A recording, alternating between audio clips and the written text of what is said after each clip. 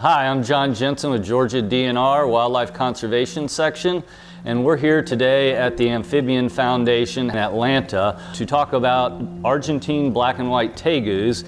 Argentine black and white tegus are a large lizard not native to the United States. It has become established as an exotic invasive species in several sites in South Florida, and we now believe in the Toombs and Tattnall County area of Georgia. We're trying to remove them from the wild because they can have negative impacts on our native species. Um, they eat just about anything they want, plant and animal matter, and one of their favorite foods are eggs from ground nesting animals such as gopher our protected state reptile, uh, birds including turkeys and quail. They're also a burrowing species. They'll make their own burrows but they'll also use the burrows made by other animals, including our native gopher tortoise, and they may displace gopher tortoises in doing so.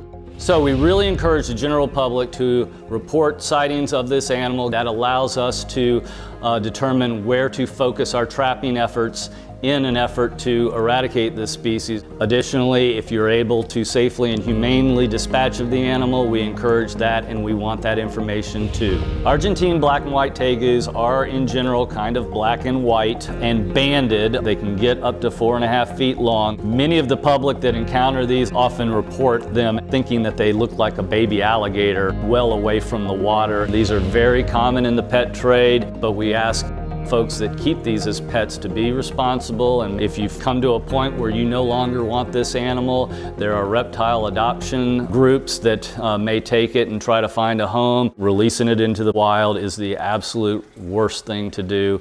It will affect our native species and we can't have that.